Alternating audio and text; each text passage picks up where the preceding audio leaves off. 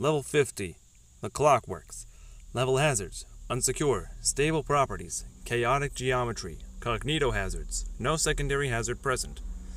Level 50 is the quinquagesimal level of the back rooms. Description. Level 50 takes the appearance of an old but distinguished modern clock shop. The clocks present inside the level give it an uncanny feel as the clocks surround all the walls of the level. Usually the clocks will range from grandfathered clocks to modern day clocks. Level 50 is known to be a rather messy level, as pen, paper, keys, and much more can be found laying on desks, even if they serve no purpose.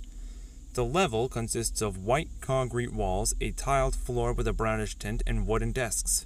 There may be hanging wires in random spots of the level, though they are harmless and touching them will do nothing. These wires could also be used as material for many things.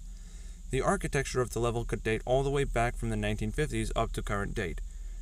Another kind of decoration that can be found on the walls are paintings and photographs. The paintings are mostly abstract and they often feature clocks, while the photographs resemble that of an old family photo taken in the 80s or even of a small city featuring British architecture. There are many hallways spread throughout level 50. They may connect to each other in very strange ways and could even manifest themselves sideways. These hallways are usually littered with clocks on the walls and possibly even the ceiling, though grandfather clocks could block off the hallway entirely. Relying on time in level 50 is almost impossible. Every clock displays a different time, and some may not even move at all. All clocks in the level can vary in sizes and shapes as well. A single clock that looks like it merged with another clock, or a very tall clock that is still functional, despite being almost impossible. Level 50's entire ambience is consisted of, obviously, clock ticks, similarly to level 0.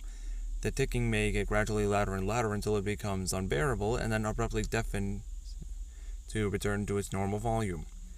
The ticking in general may be a little disorienting, but eventually your body will adapt to the sounds. It'll feel more like jet lag upon arriving here.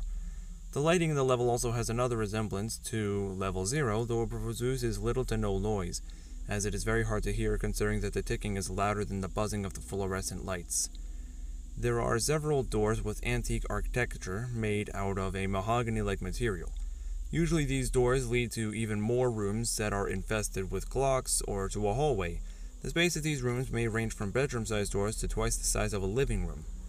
On several occasions, the lights may flicker randomly or will turn off completely inside a room, though the clocks will remain functional and continue ticking despite the conditions of the room you currently reside in. Despite the conditions of the level, there have been no reports of any kind of life form, nor a case about encountering someone else here. Accessibility methods. Entrances. Ignoring level 40's warning could eventually transport you here. The main entrance to level 50 is through level 49. The elevator is the only reported method of getting here from there. Exits. Eventually, one may come across a new elevator in level 50. By using it, you could go to level 51, level 49, or any other random level that has an elevator, the only exception being level 0.